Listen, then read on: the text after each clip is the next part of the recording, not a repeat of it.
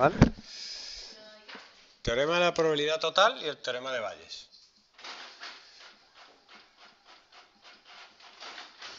Teorema de la probabilidad total dice que si tengo un conjunto completo de sucesos A1, A2, a n, la probabilidad de un suceso B es la probabilidad de B condicionado a 1 más la probabilidad de B condicionado a 2 más la probabilidad de todas las B condicionado a n.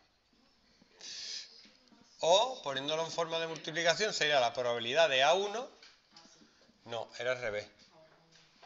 Intersección aquí, aquí era intersección.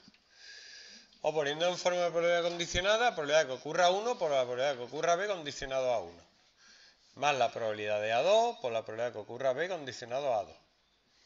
Más hasta el final. Hasta N.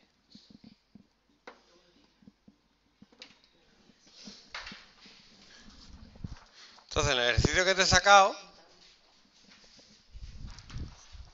te dice en un servicio técnico especialidad en cámara fotográfica, el 60, el 70% de las cámaras que se reciben son del modelo A. Probabilidad de A 0,7. Y el resto del B, del B 0,3. ¿Vale? El 95% de las cámaras del modelo A son reparadas. O sea, la probabilidad de repararla es 0,95 y de no repararla 0,05. Y de repararla el B es 0,80 y de no repararla es 0,20. Entonces te preguntan, calcula la probabilidad que no se haya podido reparar. usando el teorema de la probabilidad total, que ya te digo, que esto se lo explico yo a los de cuarto de eso.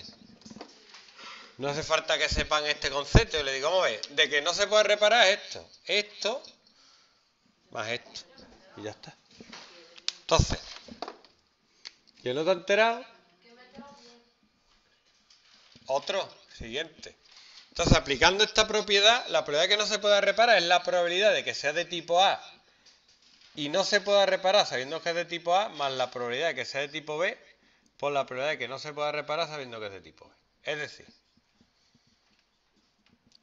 0,7 por esto, 0,05 de que no se repare, más 0,3 por 0,20.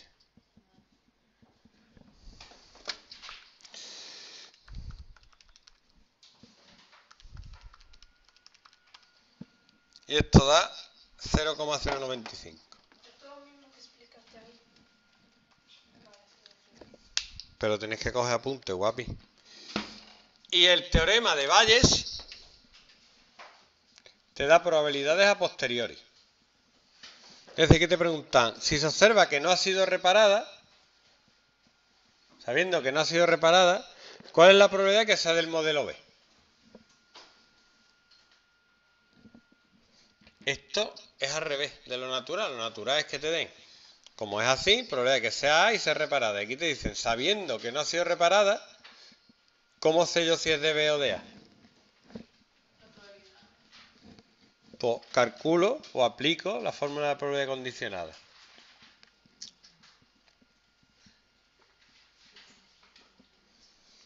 Arriba me queda probabilidad de que sea de B y no haya sido reparada. Eso sería B y no reparada sería 0,3 por 0,2. Y abajo la probabilidad de que no sea reparada la calculaba antes. Y esto me da